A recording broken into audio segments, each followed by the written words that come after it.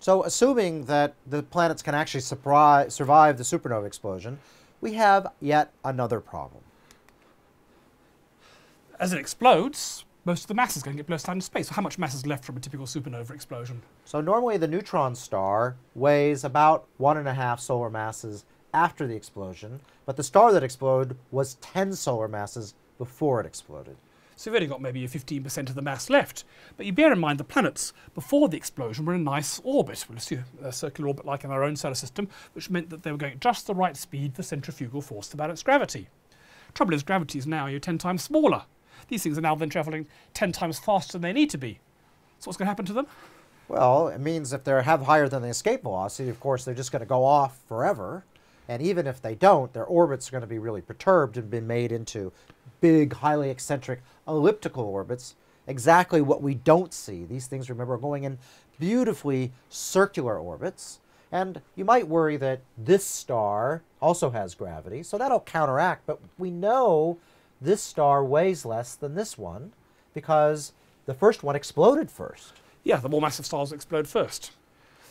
But then the second star will swell up at some later stage, possibly engulfing the planets yet again, um, and feeding matter onto the, uh, the uh, neutron star to make it into a millisecond pulsar. And that's another problem. You know, where's the remains of this? There should be a white dwarf left over. Where did that come from?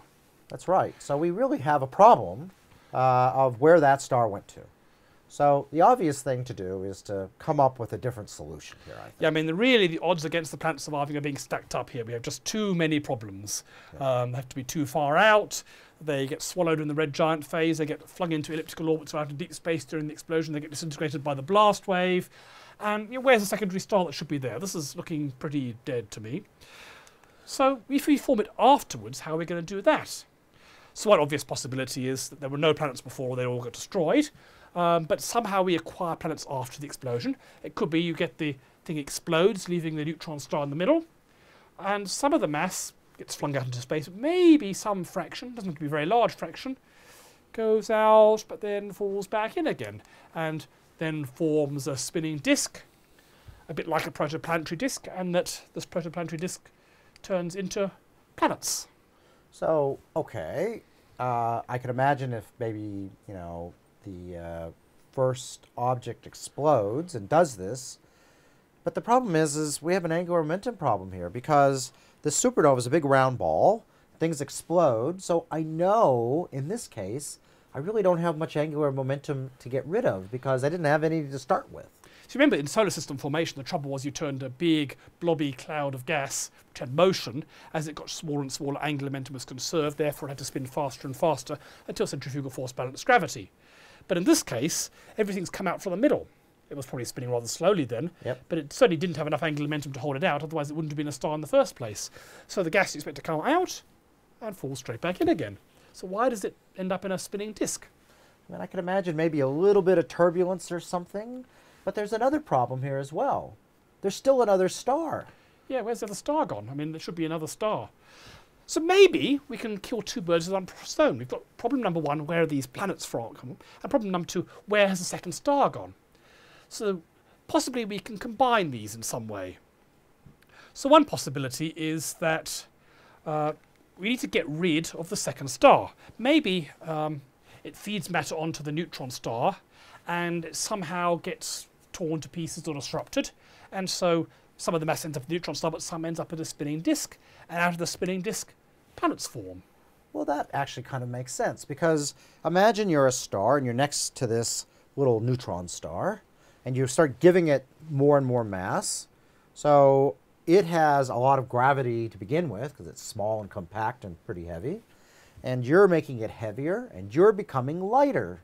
So I can imagine that, for example, since the size of a star is really a you know relationship between how much gravity can keep it compact and how much pressure and uh, will push it out. That is, if I make it lighter and lighter, it's going to have less and less gravity, and the thing could presumably potentially rearrange itself and become larger and larger, making it more susceptible to the main star's gravity ripping it apart. Yeah, so normally you think if you have something like a planet and took some of it away, it would be smaller. But as Brian said, this doesn't necessarily work for some types of stars. Some types of stars it does. But just like I imagine like a pile of cushions, um, the cushions at the bottom are going to be compressed by all the weight of the cushions above. So if you take cushions off the top, it can actually get bigger because the bottom ones will spring up. Stars, some sort of stars can be like that. The stuff in the middle is compressed by the weight outside. So if you strip off the stuff outside, the stuff in the middle can expand. So you can imagine a planet that gets bigger, sorry, a star that gets bigger, feeds gas, gets bigger still, feeds more gas, until eventually there's nothing left but a little bit of gas which might form planets. So I like the sound of this. And, but it only relies only certain sorts of stars, fully convective stars, and certain sorts of white dwarf will do this. So you need a very specific sort of star. The other, um, another possible theory is that when you feed all this mass onto the neutron star, that mass is going to fall down to intense gravity and generate huge amounts of X-rays. These Ah. X-rays will come out and zap the nearby star, and that might cause it to swell up and maybe even disintegrate it. So it's sort of uh, this. Uh, it, it donates material and sort of gets penalized, uh, not dissimilar to a male black widow, I guess, where you you try to help out and you get killed for your uh, your efforts. Indeed, this is called the Black Widow model, the idea that this could be why so many of these millisecond pulsars don't seem to have companions, because the, uh, the, the neutron star ate its neighbour and destroyed it for the benefit of feeding it.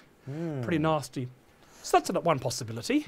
Now, how about another idea, which is we know we have two stars, and you can imagine that one star is a neutron star, and one star is a normal large star. Yep. So let's assume that there's two stars with very massive stars, and the planets were a long way out.